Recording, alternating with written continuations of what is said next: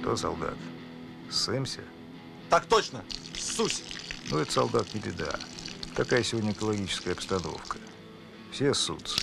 Я ссусь. И даже главком пысается бывает. Но по ситуации.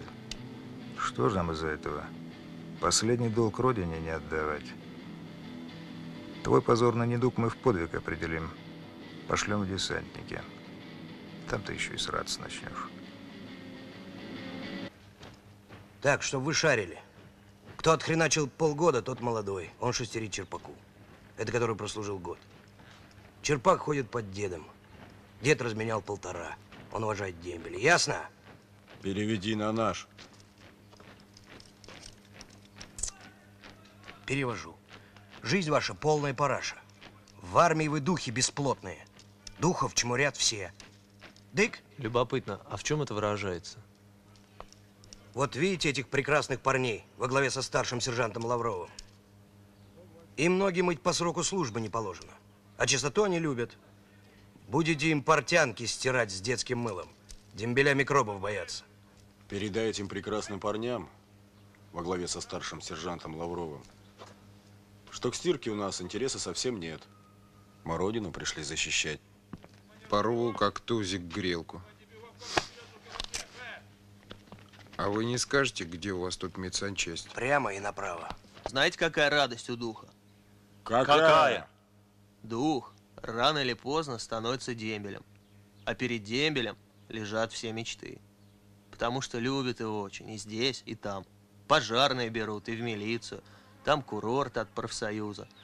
Бесплатный проезд на автобусе. Девки с дойками. Так и плачут по дембелю. Потому что дембеля больше в армию не берут. Если соскучитесь, милости просим.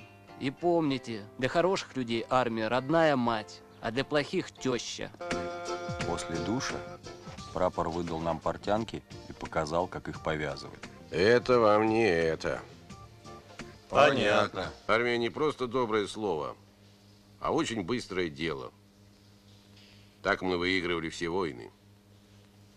Пока противник рисует карты наступления, мы меняем ландшафты, причем вручную. Когда приходит время атаки, противник теряется на незнакомой местности и приходит в полную небоеготовность. В этом смысл, в этом наша стратегия. Отсюда, ребятки, наша Родина диктует свою непреклонную волю остальному мировому сообществу. Может, бахнем? Обязательно бахнем. И не раз. Весь мир в труху. Но потом. Товарищи призывники, надо понимать всю глубину наших глубин. Военный, а нам оружие дадут? 335. Почему я в армии? Сколько мне лет? И от чего у меня волосы на груди окрасились? Начну с последнего. Волосы у меня на груди окрасились, потому что я пролил на них ракетный окислитель. Лет мне 29, скоро юбилей. А в армии я потому, что меня жена с тещей хотели в сумасшедший дом отдать. За убеждение. Видишь суслика? Нет. И я не вижу. А он есть. Положительно, в армии есть свои плюсы. Солдата взять нечего, отсюда опять же искренность отношений. Угу. И режим же опять же. Читай, Беркут. Я, Бабков Геннадий Романович, торжественно присягаю на верность своей родине Российской Федерации. Что наша жизнь?